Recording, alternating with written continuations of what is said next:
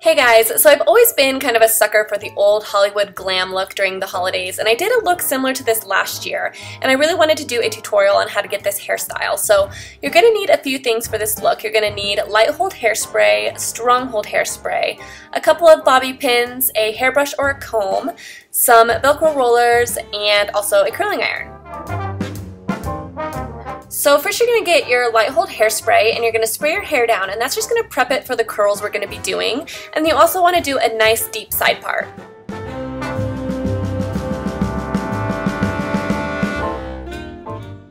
So now go ahead and take this front section of your hair, like the bang area, and you're to curl that towards your face or downwards.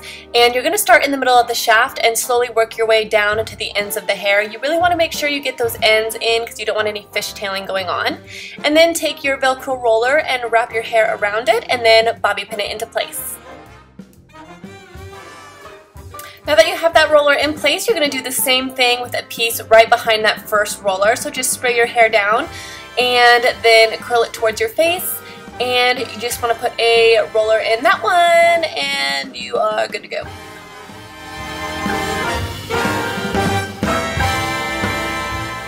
Now you're going to take the side of your hair and you're going to do this in a vertical section and you want to make sure you're doing the side that has the most hair. So the side that the part is not on.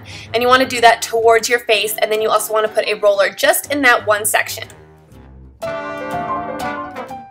Okay, now you want to take vertical sections with your curling iron and you're going to do the rest of your hair and you want to make sure you go all the same direction again towards your face and spray with hairspray between each curl. And another key is to not touch the curls. Let them cool in place. You don't want to tousle them or anything like that.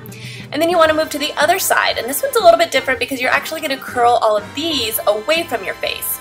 So they're going to go backwards. And again, you don't want to touch them. You want to make sure you let them cool completely and make sure you hairspray them between each curl.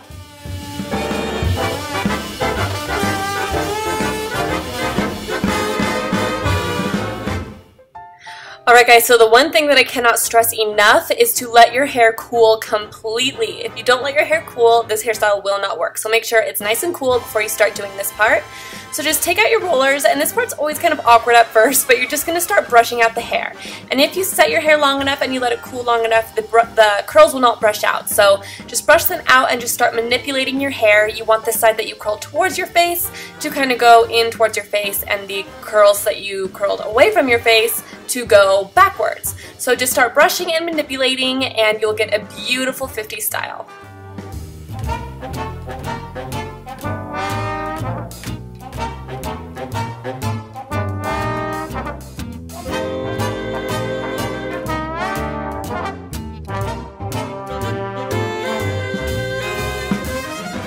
You also want to backcomb this area in your fringe section, and this is going to give you that nice 50s swoop that I think is really crucial for this look. I think it really kind of creates that 50s vibe, but you can definitely skip that step if you don't like to backcomb.